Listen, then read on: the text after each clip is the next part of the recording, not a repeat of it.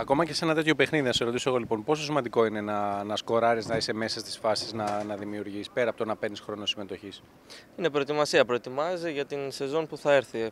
Το, το να έρθει ένα γκολ είναι η επιβεβαίωση της σκληρής δουλειάς που κάνεις κάθε μέρα στις προπονήσεις.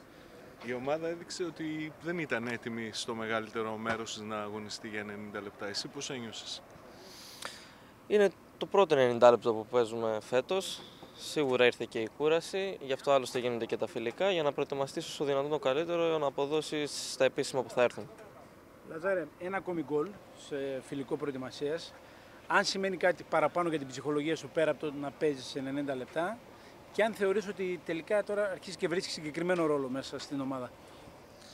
Είναι σημαντικό να σκοράρει, ειδικά ο επιθετικός.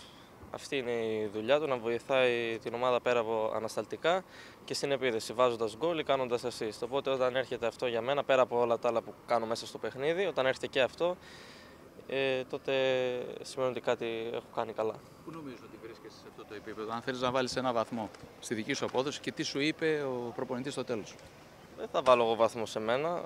Είναι ο προπονητής για να το κάνει αυτό. Από τη στιγμή που παίρνω την επιβράβευση του προπονητή και γενικά του προπονητικού team, είμαι χαρούμενος.